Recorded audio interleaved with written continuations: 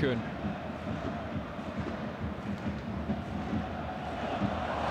lovely change of pace in a run and the finish. Everyone looks to the assistant. The flag stays down. And I said he loves a goal against Livingston. Mm, and Daizen Maeda, here or no here. He made that himself with a run and finished it perfectly. And Celtic have the lead.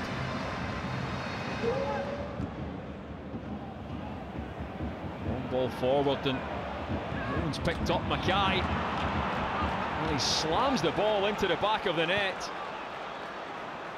Well, where was the Celtic defence as the high ball came over the top? Absolutely no one picking up Daniel MacKay.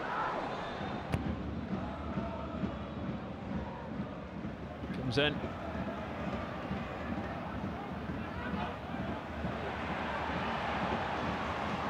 Play from Kuhn. Celtic have players forward. Tomoki this forward and Bernardo goes down looking for the free kick, but in steps Kuhn. Now look at the players that are there. Matt O'Riley teeing it up for himself with the shot blocked.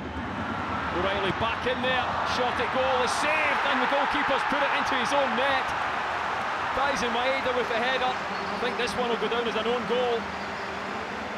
21 and a half minutes gone, and Celtic have the lead.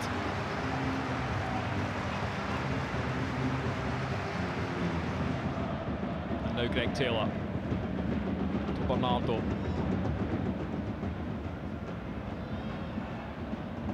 Through the middle this time to Maeda, goes down.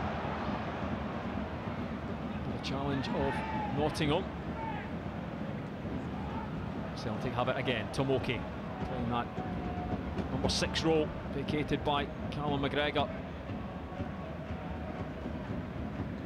As I said, you don't mention that off goal. Matt O'Riley caught out offside, surely against Yengi. As O'Riley comes back. Well, he's found the back of the net. What a finish that is from Yengi. I wonder if they come back and look at the offside.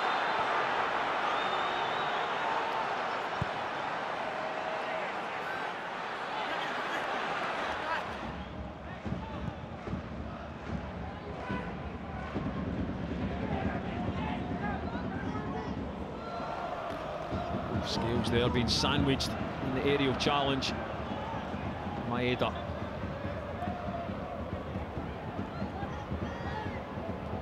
Almost at the final five minutes. There will be a few minutes extra, you would imagine. First time cross from Alistair Johnston. Headed away to the edge of the box and cleared away by Shinnie. As far as Welsh. And now Tomoki. Johnston Tomoki, it must be, and it is! Top 10, and it's a hat-trick for Daizen Maeda. 85 minutes gone, and Celtic finally find a way through for the third goal.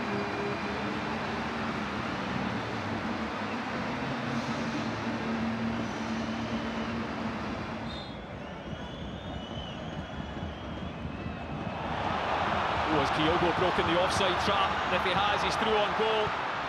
Must be the fourth for Celtic, and indeed it is, but the whistle's gone. And the flag's up. No. Yep. The goal given. Kyogo has his goal. VAR confirms that Kyogo was indeed onside. It must be the back, the trailing leg there. You were right of um, Sean Kelly